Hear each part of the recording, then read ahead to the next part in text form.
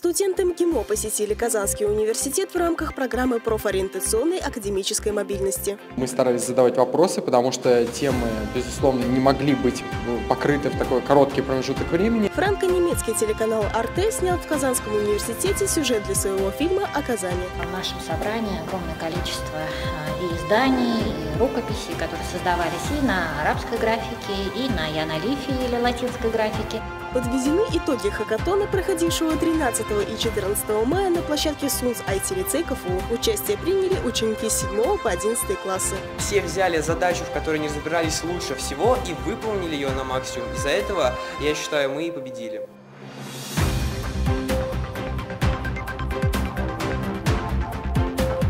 Всем привет! В эфире «Univer News», а в студии Ариадна Кугушева. Студенты Московского государственного института международных отношений посетили Казанский университет в рамках программы профориентационной академической мобильности. Подробности далее. Знакомство с Казанским университетом началось для студентов Московского института с приветственных слов Музея истории КФУ. Проректор по образовательной деятельности Дмитрий Таюрский выразил надежду на плодотворное сотрудничество университетов. Я рассматриваю эту программу как программу научно-образовательной дипломатии между двумя университетами.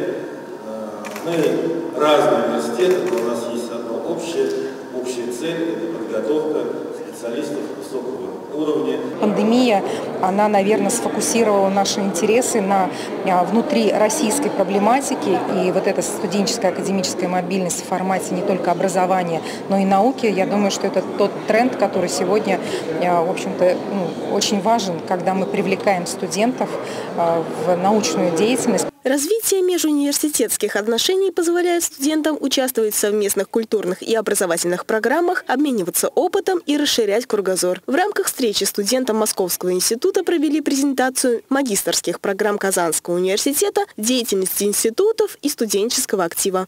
Программы, э, на презентации которых мы были, э, вызвали очень большой интерес, особенно э, лично для меня программа по управлению историческим наследием ЮНЕСКО. Мы старались задавать вопросы, потому что темы, безусловно, не могли быть покрыты в такой короткий промежуток времени, поэтому вот то, что касается бизнес, инфраструктуры и развития предпринимательства в Республике Татарстан, для нас это было очень интересно. Студенты Казанского университета во время ответного визита в Московский институт посетили лекции и встретились с генеральным секретарем Организации Объединенных Наций Антонио Гутерришем. Ариадна Кугушева, Фарид Захитаглы, Univer News.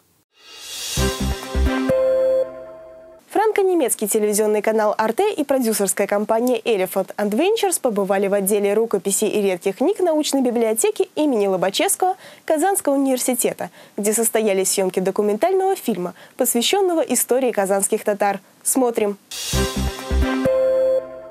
Отснятый в библиотеке Казанского университета материал повествует о непростом процессе смены графики татарского языка. Задумка режиссера рассказать об этом историческом факте, используя памятники литературы, хранящиеся в университетской библиотеке.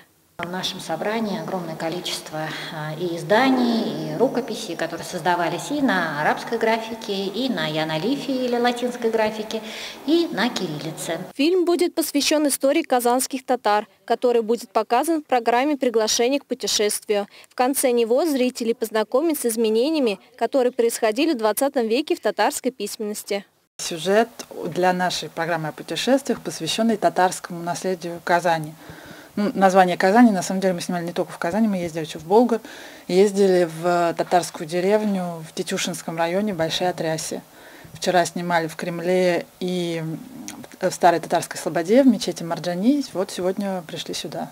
14-минутный небольшой документальный фильм о татарском наследии Казани будет переведен вначале на французский, затем на немецкий язык и будет показан на франко-немецком телевизионном канале «Arte». Елизавета Никитина, Виолетта Басова, Univer News. Подведены итоги хакатона, проходившего 13 и 14 мая на площадке IT-лицея КФУ. Участие приняли ученики с 7 по 11 классы. Все подробности далее. Хакатон или по-другому марафон IT-специалистов предполагает разработку программы за определенный срок. Так, учащиеся IT-лицеи разрабатывали микросервис для одного из культурных объектов Казани, а задания были составлены Министерством культуры Республики Татарстан. Сейчас у нас достаточно активно развивается цифровая индустрия, цифровая экономика, цифровая. Э, и все отрасли социальной сферы, они также цифровизируются в этой части. И в этом плане культура не стала исключением. А, мы рассматриваем а, различного рода IT-приложения, а, как в текущей работе министерства, так и в работе наших учреждений. Опять же, чтобы это было удобно, понятно, просто. И самое главное, чтобы был отклик и была обратная связь от наших жителей. Ребята разрабатывали сервисы для таких казанских театров, как ТЮЗ, театр имени Гляскара Камала и театр оперы и балета имени Мусы Джалиля. Хакатон подразумевает не только решение задач, но и тоже э, он помогает развивать такие навыки, как критическое мышление. В течение 24 часов ребята выполняли э, задания, э, где необходимо было создать либо сайт, либо приложение, либо какой-то чат-бот, который помогал бы жителям нашей республики заказывать билеты на спектакли, узнавать последние новости и с помощью умных помощников они помогли подсказывать им, на какие мероприятия стоит приходить. По итогам хакатона лучшей была признана команда «Амогус», которая реализовала интерфейсы для казанского тюза в Телеграме, ВКонтакте и приложении театра. У них был только сайт, и как бы не хватало, чтобы еще из других мест можно было заказать билеты и ознакомиться с афишей. У нас все происходило, так сказать, асинхронно. Э, никто ни от кого не зависел, никто не мог никого подвести. Все взяли задачу, в которой не разбирались лучше всего, и выполнили ее на максимум. Из-за этого, я считаю, мы и победили. Отметим, что за первое место команда «Амогус» получила 50 тысяч рублей. Денежные призы получили и призеры. Диана Желенкова, Виолетта Басова, Univer News. На подготовительном факультете для иностранных учащихся Казанского университета прошел второй этап Олимпиады для иностранных учащихся подфаков образовательных организаций высшего образования России. Смотрим. Казанский университет проводит такого рода мероприятия каждый год, и они направлены на разные виды речевой деятельности. Иногда это письменная речь, иногда устная. В этом году Олимпиада посвящена устному виду деятельности. Студенты соревновались в своем умении правильно и интересно разговаривать и принимать участие в дискуссии. Первый этап, он проходил онлайн, получается дистанционно. А, студенты посылали свои видеоролики, в которых они а, представляли себя, и потом уже а, жюри отбирала лучших. Если вы набрали более 75% ну, по своей оценке, то вы проходили бы второй этап. Стоит отметить, что в этом году увеличилось количество участников Олимпиады. Были поданы заявления от 182 обучающихся из 22 образовательных организаций высшего образования России.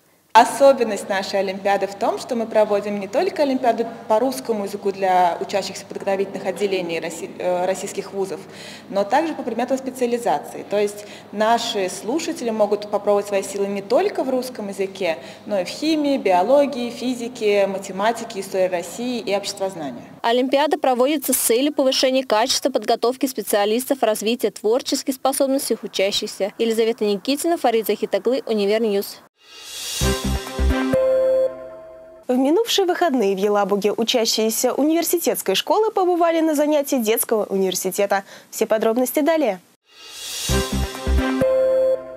Учебный день стартовал с лекций от студентов отделения филологии и истории Елабужского института Казанского университета, которые рассказали об этнических немцах и познакомили детей с яркими представителями этой нации. Это все-таки такие маленькие ступени, маленькие шажки, так скажем, большой жизни, к,